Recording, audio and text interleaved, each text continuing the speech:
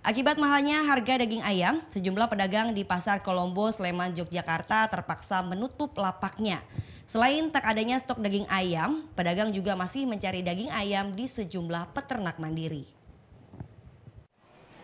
Harga daging ayam yang mencapai Rp45.000 tiap kilonya membuat sejumlah pedagang di Pasar Kolombo, Sleman, Yogyakarta menutup lapaknya dan memilih tidak berjualan. Dari 50 pedagang, tak kurang hanya 25 yang masih tetap berjualan dengan stok daging ayam yang terbatas. Perusahaan yang biasa memasok daging ayam tak datang sehingga pedagang tak berjualan. Sejumlah pedagang yang masih berjualan mendapatkan ayam dari peternak mandiri. Langkanya daging membuat harga melonjak hingga Rp45.000 per kilogram. Ini naik nggak ada ya, semua nggak jualan. Tinggi 45. Kalau saya biasa 70, 80, tadi dikasih 20. 20 ekor? Ekor iya.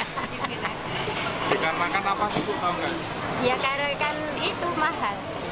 Kalau mahal saya nggak tahu orang kecil di bawah. Harga yang tinggi serta langkanya pasokan membuat pembeli harus berkeliling ke sejumlah pasar tradisional untuk mencari daging ayam.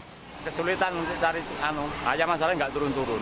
Jadi masuk habis lebaran harga tetap 40 di atas 40 terus. Jadi ya orang gimana itu anu nggak tahu apa penyebabnya itu. Padahal ini konsumen banyak yang membutuhkan toh. Harusnya kan segera turun tuh ayam itu. Tapi kenyataannya sampai hari ini belum. Ini malah pada demo, jadi untuk warung-warung makan jadi kacau.